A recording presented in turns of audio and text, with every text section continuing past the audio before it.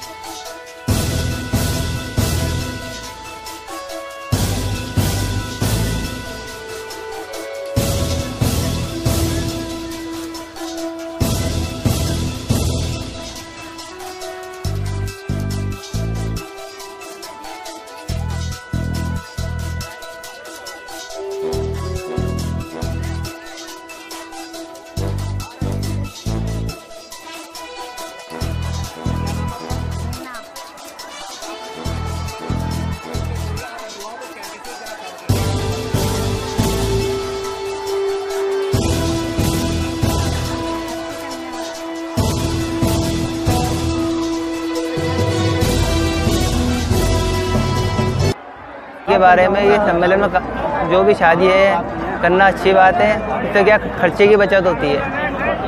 और हमारी शरीयत में भी यही है। इस पैसे बचाओ। गरीब गरीब गरीब की बेटियाँ भी हो जाती निकल जाती हैं। और भी कई बहुत सारी चीज़ें थी और हमारी शरीयत में भी वो इसके बारे में बताया गया है। और हमारी शरीयत का भी हुक्म है। वैसे तो जो भी अच्छा हो जो अच्छा हो रहा है और क्या? बढ़िया हो रहा है जो भी गरीब आदमी के लिए सब सब सही है। तो मेरे गुजारिश और भी वो अच्छा हो तो बढ़िया है। खर्चा बचता है। अच्छी बात है। करना खर्चा बचता है। चितवाड़ी से। ये जो सम्मेलन हो रहा है इसके बारे में क्या कहना चाहोगे?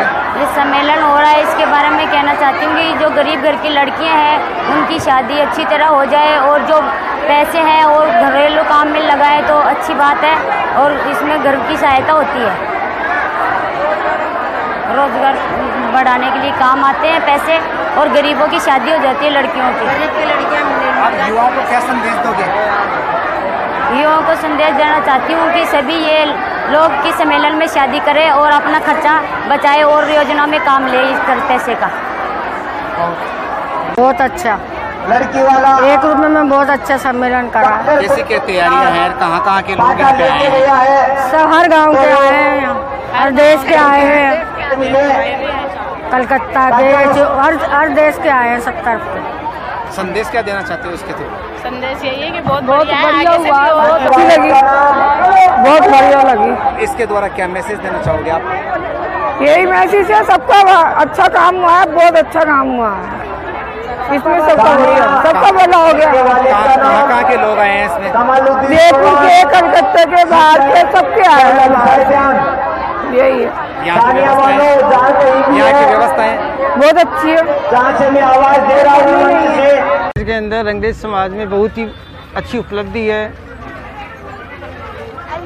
गरीब और अमीर आदमी का दोनों का समान काम हो जाता है इसके अंदर। बराबर कोई ऊंच नीच में समझ सबको अ, कोई इसमें बेनिफिट मिलता है। तो कैसी क्या व्यवस्थाएँ रही है? अच्छी व्यवस्था रही है बहुत अच्छी व्यवस्था रही है। पानी यानी वगैरह की व्यवस्था सब। क्या क्या मैसेज देना चाहोगे और समय समाजों को आप? और मैं यही मैसेज देना चाहता हूँ कि आगे भी अच्छा हो। ऐसे ही है कोई सामूहिक सम्मेलन होते रहे। हर समाज हर समाज के के लिए। यही उपदेश है मेरा। एक ही रुपये ले गया। अच्छा एक रुपए में शादी हुई है? जी। अच्छा तो क्या कहना है इसके बारे में? बहुत अच्छा काम हो रहा है। गरीब लड़कों की जो गरीब बच्चे हैं उनकी जो है बच्चियाँ हैं उनकी बहुत आराम से और बहुत बढ़िया तरीके से शादी हो रही है। एक रुपये कम था। ये पहली बार हो रहा है इतना बड़ा काम जो है। डेरा वाले हैं हम और ये मतलब रंगरेज समाज के लिए नहीं बल्कि पूरे समाजों के लिए एक मिसाल कायम रहेगी। इसमें कम से कम खर्चा है ना जो अ, किया जा रहा है और लड़के वाले से एक रुपया और लड़की वाले से भी एक रुपया लिया जा रहा है। और इसमें ऐसे ऐसे जो गरीब जो रात दिन जिनके माता पिताओं को नींद नहीं आती थी और अब वो चैन की नींद से सोएँगे। और ये जो काम करने वाले हैं हमारे बाबा नानक राम नानक जी इनको अल्लाह ताला इनको इनको है ना जो आगे से और भी ऐसा काम करने की है ना जो इनको हिदायत दे अल्लाह पाक इनको। और आज जो ये कार्यक्रम हुआ है ये बहुत ही अच्छा कार्यक्रम हुआ है और इसमें करीबन पंद्रह हज़ार लोग इसके अंदर आए हैं और बहुत दूर दूर से लोग आए हैं। इस बहुत गर्मी के अंदर भी लोगों ने है ना शिरकत की है और मैं इतना ही कहना चाहता हूँ जय हिंद जय भारत। क्या नाम आपका? नाना गली ये जो सम्मेलन जो आयोजित किया गया है यहाँ पे, वो किस संगठन के तत्वाधान में आयोजित किया गया है कितने जोड़े हम सफ़र बनाए हैं, इसकी व्यवस्थाएँ आपने कैसी क्या की है? मेरी एक सोच थी कि मैं कोई अपनी ज़िंदगी में सही कदम उठाऊं, कोई सही काम करूँ।